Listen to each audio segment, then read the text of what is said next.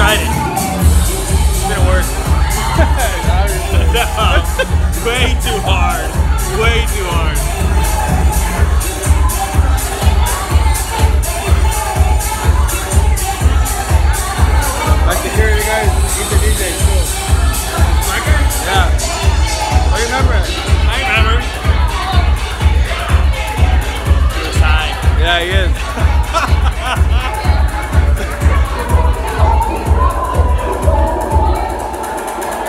It's enough just to have the guy that says security on. Just lets everybody know. There's a security in the house. After you, go ahead. Don't get out of line or else, uh, do they have a cane with them? What is that?